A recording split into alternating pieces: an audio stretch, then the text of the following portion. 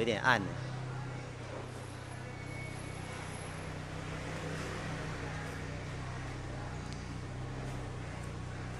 你们都装好了哈？我那么快，好，那我赶快来。呃，这一台车呢，好，当然是 Artis 的哈。然后这一台算是十一点五代的 Artis。那今天来安装的版本呢是 KT 的道路版避震器。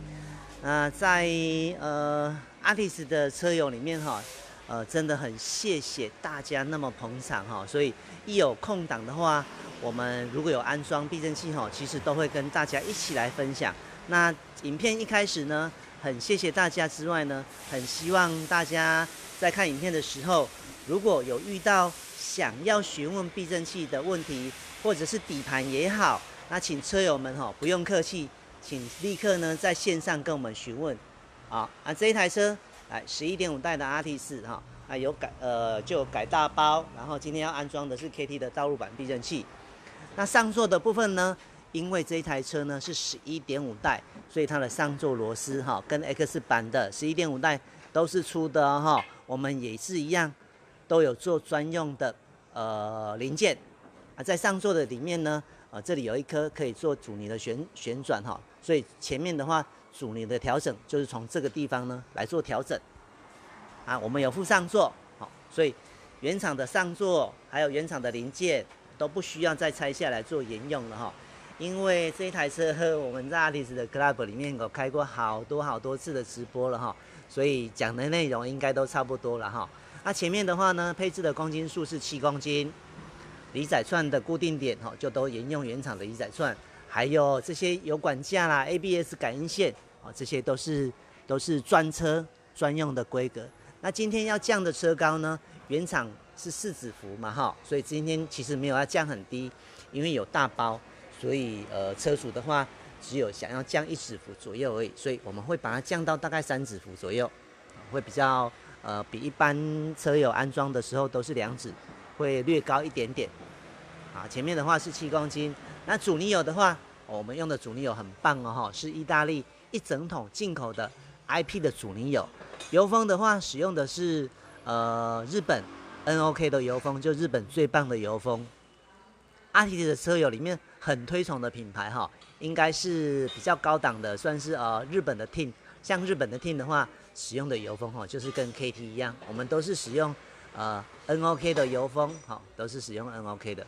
那车高的调整呢，是靠脚管这个地方，呃托盘把它旋松之后，从脚管呢往下延伸的话，它的整体长度变长，车高就变高，所以它能调高跟调低的范围呢是很宽的。这一台最高的话，哈，大概是三指到三指半左右了。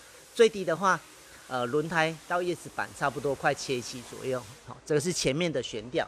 这个是这一台是十一点五代，那最新款的，像今年上市的是十二代的。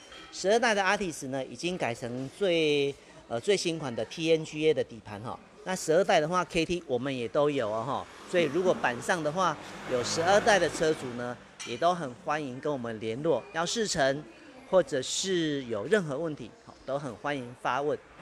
那后面的话，这个世代呢，还是一个呃，算是扭力梁哈，它不是多连杆，有力量的悬吊系统。那长簧的话，我们配置的后面是五公斤，上座的话都有附哈。后面的上座在椅背的后方，在椅背的后方。所以阻尼的调整呢，是从这个地方，我们椅背阿提斯是可以六四分离往往前搬的嘛。那往前搬之后，从这个地方把它掀开，这里就可以看得到。灯灯再过来一点。好，这个地方呢看得到 KT 的 logo，从这里呢就能够旋转阻尼了。一样往 H 的方向，往 H 顺时针的话就是变硬，往 S 的话呢逆时针就是变软。好，所以一共。有三十段的阻尼，你可以调整，所以阿提斯在调整阻尼的时候也还蛮方便的。这里有一个塑胶的扣具，塑胶扣具拉开之后，这个室盖打开就能够做软硬的调整了。那这台车我们一般安装哈都不到一个小时就安装好了，所以现在师傅已经准备要上胎了啦。哈，这台车都还是维持原厂的。哈，这个是原厂，原厂的话应该是十六，这个规格应该十六寸的。我记得是 X 版才四十七寸的，啊，这是二零五五十六，好，十六寸的规格。啊，这台车很多的车友都升级十七寸，甚至是十八寸哈，十八寸的话，绝大部分都配二五四零十八，啊，整体的霸气呢就不一样，而且这个车也还有尾翼耶，很漂亮哈。那线上的阿迪斯车友呢，如果有任何问题呀，呃，不用客气哦哈，请请告诉我们，我会把镜头呢带到大家想要看的地方。这个连刹车都还是维持原厂的了哈。阿提斯的刹车，呃，基本上的动力了哈，如果也算还不错。如果有开车的习性比较快的话呢，就可以升级前面基础的话呢，都是升级加大碟。那如果加大碟还不够的时候呢，就会升级多活塞的卡钳。这台是一七年的样子吧？哈，一七年。一七年就是十一点五代了哈。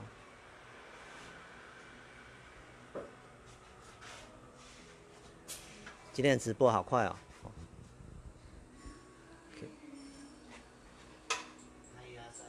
胎压三点哈，胎压原厂的胎压哈，呃，我们都会建议呢。其实日系车的话，在 B 柱这里呢，都会有一个。胎压的建议值，好像日系车的话，阿提斯的话，它把驾驶座的门打开，在这里都会有建议值。像原厂建议的胎压呢是三十二，好后轮的话呢三十也都还 OK。那像今天的胎压三十六，就有一点点偏高，但是还在合理范围了。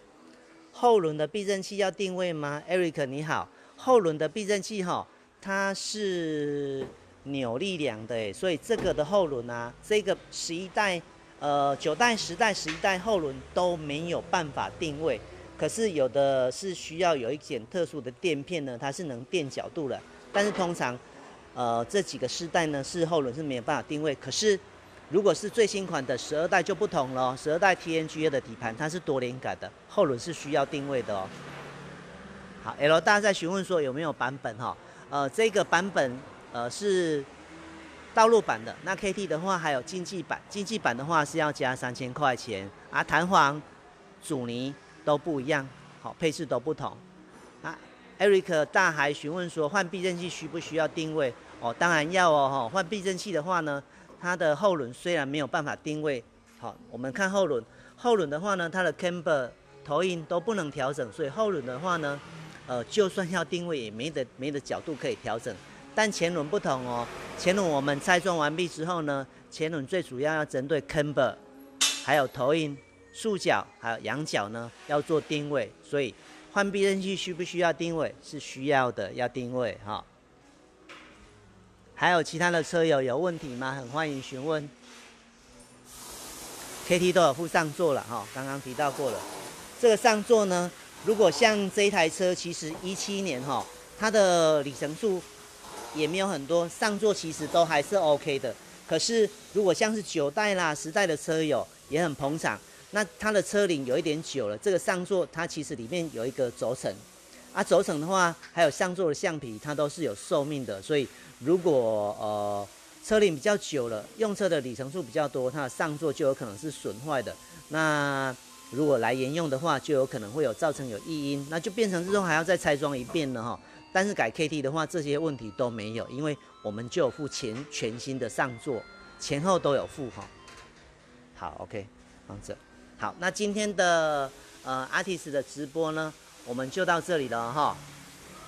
下一次有在安装到 artist 的话呢，再跟大家做呃直播的分享。那最想要安装直播的，应该算是十二代，因为我十二代的话有安装过，可是没有直播分享过了。那明天早上一样是有一台 artist，，好，明天早上的话应该是十一代的吧。如果有空档的话呢，一样会开直播跟大家分享。那一样是在这个这个俱乐部里面哈，我们会我们是 KT 的话是呃阿迪斯俱乐部里面的赞助商啊，所以如果呢明天早上嗯有空档的话，一样会开直播。好，Eric 大，你询问的是九代避震器同不同用？九代哈。